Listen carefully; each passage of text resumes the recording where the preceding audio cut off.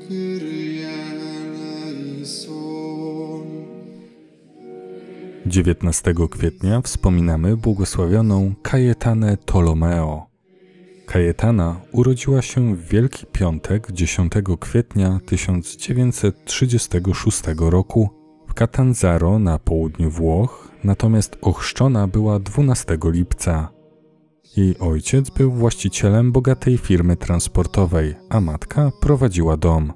Kajetana miała jeszcze młodszego brata, który zmarł w wieku 4 lat. Ona w wieku 9 lat przyjęła pierwszą komunię świętą i prawdopodobnie też sakrament bierzmowania. Niestety, około pierwszego roku życia objawiła się u niej choroba, postępujący paraliż całego ciała. Na pewien czas wysłano ją do ciotki w Queno w Piemoncie na północy Włoch, jednak podejmowane tam leczenie nie dawało rezultatów.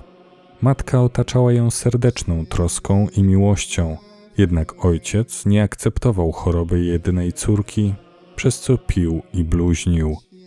Widząc to, Kajetana ofiarowała swoje cierpienie w intencji jego nawrócenia.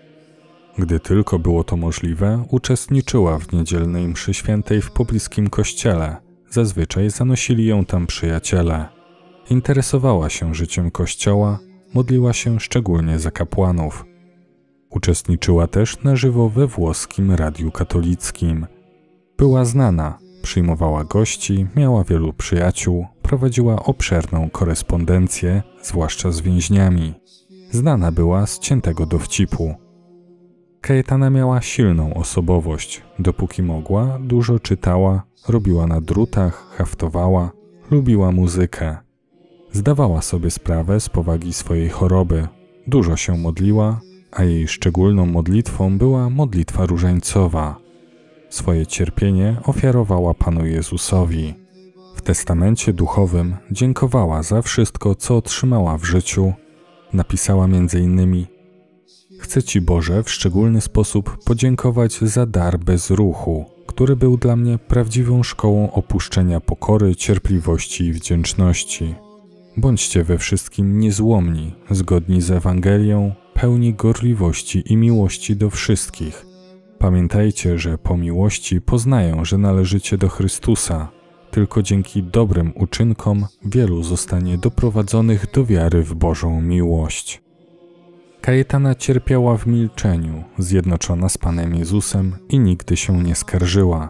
Kiedyś wyznała: We mnie Jezus żyje i cierpi, jestem Jego żywym tabernakulum. Kajetana Tolomeo zmarła 24 stycznia 1997 roku. Miała 55 lat. Ci, którzy ją znali, już za życia uznawali ją za świętą. Została beatyfikowana 3 października 2021 roku. Módlmy się.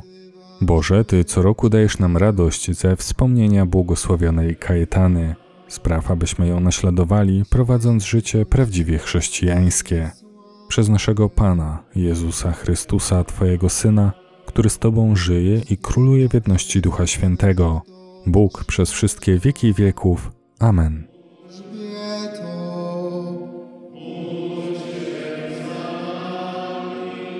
Wszyscy święci, święte Boże,